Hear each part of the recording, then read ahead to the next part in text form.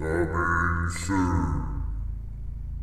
What we call the demon dog. Just lots of people do not like this dog.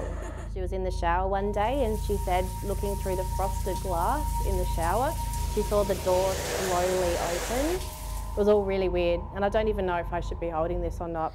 This one is very, very dark.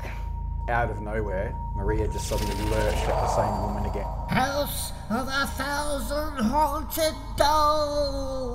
Only on Patreon.